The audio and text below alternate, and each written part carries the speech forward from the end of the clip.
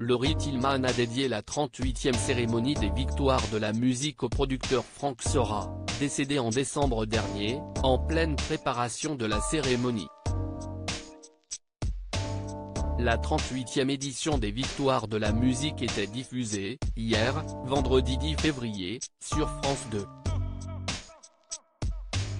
CIST Laurie Tillman, qui présentait la cérémonie en direct de la scène musicale.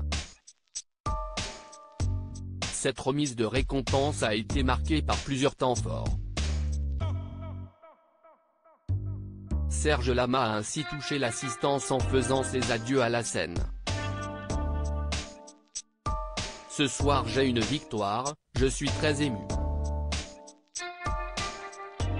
Je suis très ému car si est peut être la dernière fois ce soir que je vois un public m'acclamer debout, a-t-il ainsi indiqué. Stromae a profité de sa récompense pour adresser une tendre déclaration à sa compagne et échanger un baiser avec elle devant les caméras. Il a d'ailleurs raflé deux trophées, celui de l'artiste masculin et de l'album de l'année.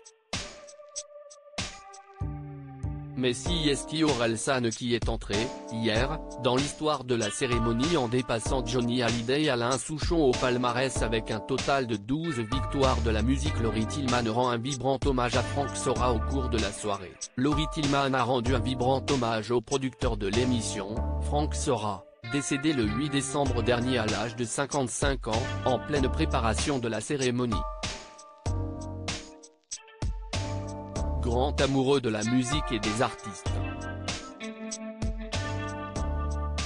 Depuis 2020, il avait à cœur de remettre le show au centre des victoires de la musique avec une exigence et un sens du spectacle absolument unique, a-t-elle indiqué. Ce soir, son équipe, celle que l'on appelle la famille Carson Prod, et les victoires de la musique, sont plus que jamais mobilisées pour faire de cette grande soirée une fête pour célébrer la musique bien sûr, mais aussi pour honorer la mémoire de Frank Sora.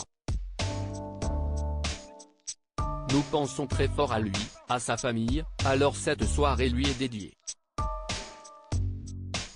Merci, merci pour lui, a-t-elle poursuivi sous les applaudissements du public.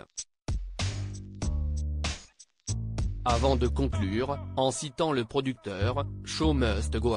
Il avait cofondé Carson Prod avec Jean-Luc Delarue Franck Sora était notamment connu pour avoir été le cofondateur, avec son ami Jean-Luc Delarue, de Carson Prod, célèbre société de production à l'origine de programmes cultes tels que Star à domicile, 300 cœurs, mais aussi de primes événements diffusés sur France 2, comme la fête de la musique.